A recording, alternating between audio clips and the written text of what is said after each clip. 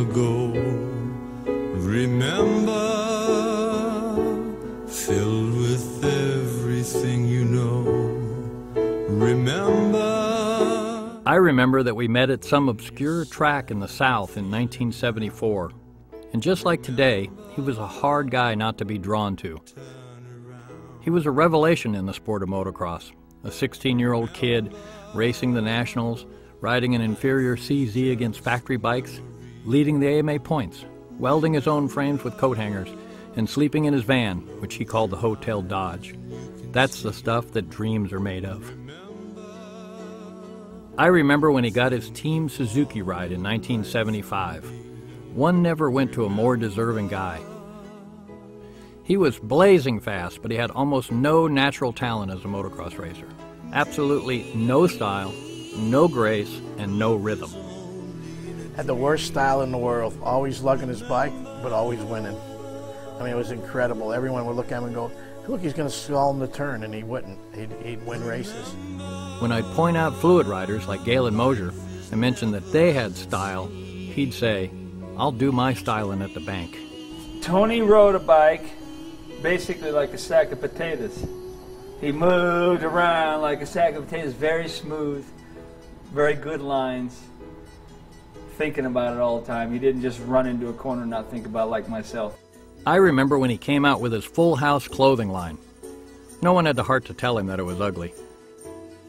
He was the first first racer ever to, to try a business adventure, and uh, you know, at, at first, you know, everyone was probably a little jealous. As unorthodox as Tony was, he his his clothes that he designed kind of went with this whole thing. You know, I mean, they were different than anybody else's. They had this padding on the hips. They had this long stripe, kind of a it you know almost kind of looked didn't look right. But they had a lot of great ideas, but it was so different. No, that that was some pretty dorky clothing. We, we got to say that that that stuff was pretty bad. So I, I kind of looked at it like it's not very classy and it's not that nice, and I wouldn't wear it. You know, maybe he's making some money with it, but I just kind of at the time was more about you know how you're looking. You know.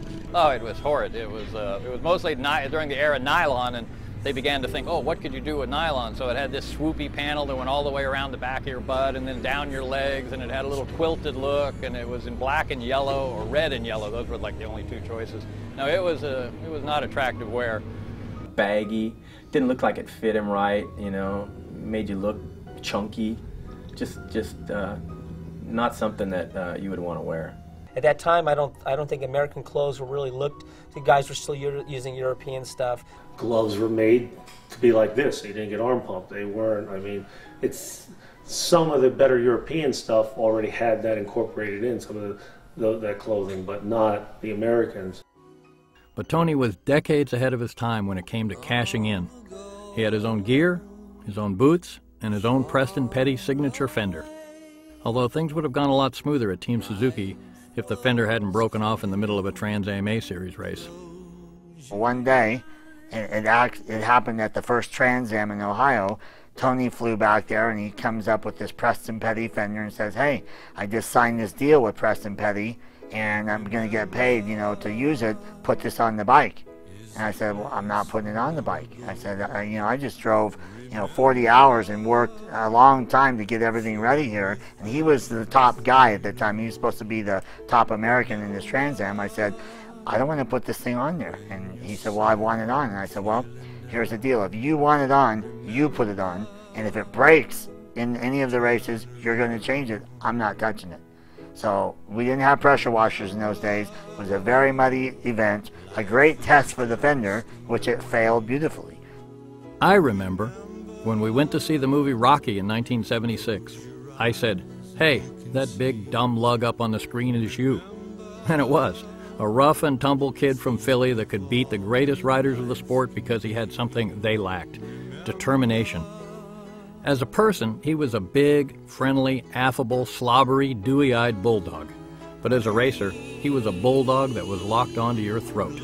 That day I won my first championship, and which we didn't know because back then the AMA didn't have really accurate scores of everything. We had to wait till like Monday to find out. We knew I won, but we had to have it official. But anyway, me and Tony lapped everyone in that moto. We hooked up, we were gone.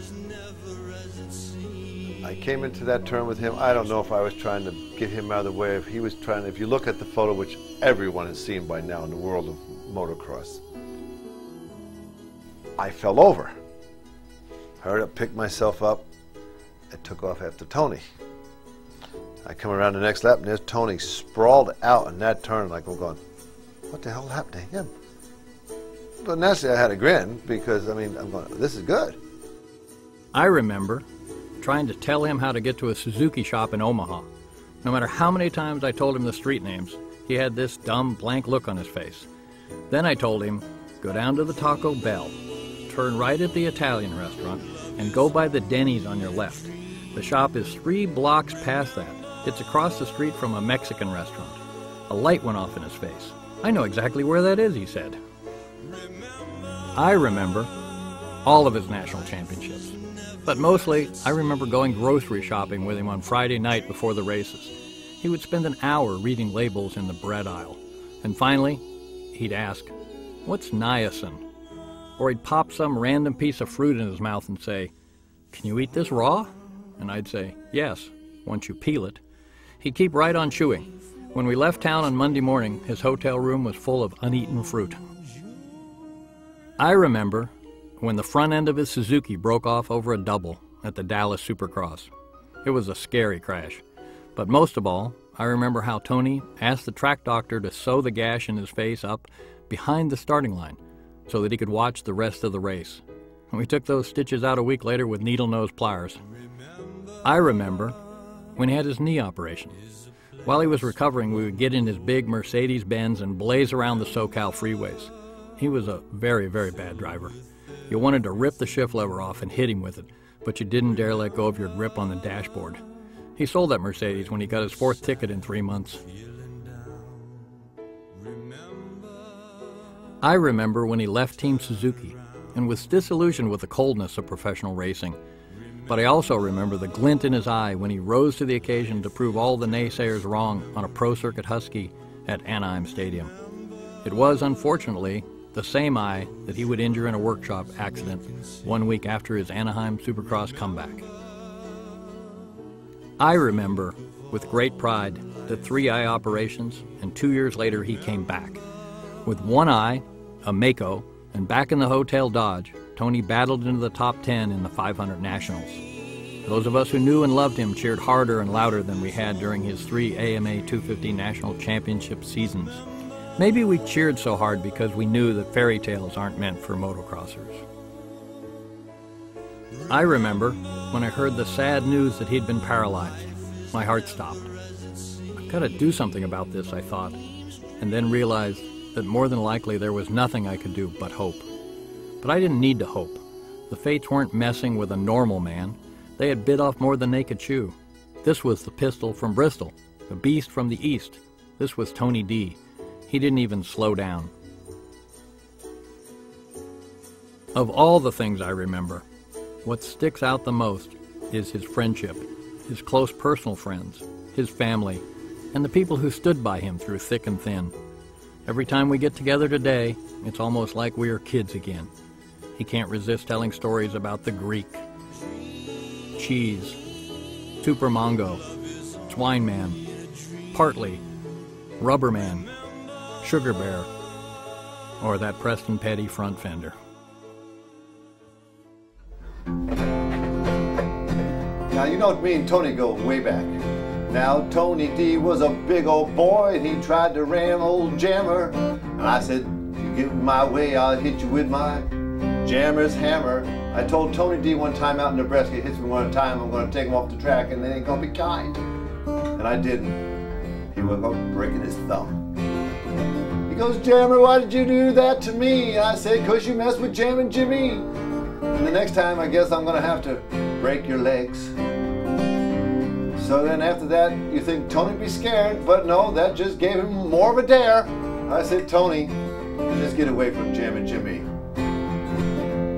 I came to race, not to fight, but I'll take you out tonight. Now, Tony, will you be a nice boy? God, boy, could he eat. He had a cooler as big as a fridge, and let me tell you, he'd eat. Not a smidge. His cooler was like a truck. That's why he was 220 pounds and I was 155. He had all kinds of traction and old Jammin' Jimmy kept him alive.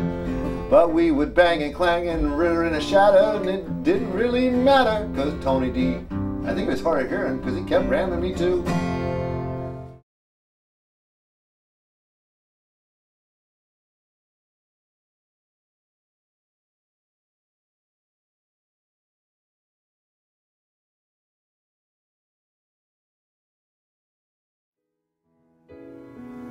Remember is a place from long ago. Remember, filled with everything you know. Remember